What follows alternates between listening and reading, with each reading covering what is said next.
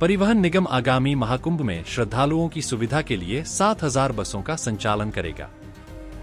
प्रथम चरण में 3050 बसों का संचालन किया जाएगा, जबकि द्वितीय चरण में सभी 7000 बसों का संचालन शुरू कर दिया जाएगा। इसी तरह स्थानीय स्तर पर यात्रियों की सुविधा के लिए 550 सिटी बसों को भी संचालित किया जाएगा, जिसमें 200 बसों का संचालन नगरीय परिवहन द्वारा, जबकि शेष 350 बसों का संचालन परिवहन निगम द्वारा किया जाएगा। परिवहन निगम मुख्यालय में गुरुवार को आगामी महाकुंभ मेले से संबंधित संचालन व्यवस्था के संबंध में सभी क्षेत्र के क्षेत्रीय प्रबंधकों के साथ अपर प्रबंध निदेशक महोदय द्वारा समीक्षा बैठक की गई, जिसमें परिवहन निगम मुख्यालय के सभी वरिष्ठ अधिकारियों ने प्रतिभाग किया। उल्लेखनीय है कि योगी सरकार प्रयागराज में जनवरी और फरवरी 2025 में होने जा रहे इस महाआयोजन को पूरी भव्यता का साथ आयोजित करने जा रही है। इसके लिए व्यापक पैमाने पर तैयारियाँ की जा रही हैं। परिवहन की सुविधा उसी कड़ी का हिस्सा है। आगामी कुंभ मेला 2025 को तीन चरणों में विभाजित किया गया है।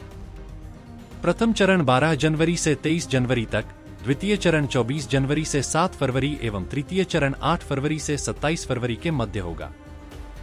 मुख्य नहान की तिथि 13 जनवरी 2014 जनवरी 29 जनवरी 3 फरवरी 12 फरवरी एवं 26 फरवरी है, जबकि मुख्य स्नान पर्व मौनी अमावस्या 29 जनवरी 2025 को है। इस दौरान सबसे अधिक स्नानार्थियों की भीड़ आने की संभावना है। जनहित को देखते हुए निगम अस्थायी बस स्टेशनों से सुव्यवस्थित संचालन के लिए प्रत्येक केंद्र पर क्षेत्र प्रबंधक की तैनाती करेगा।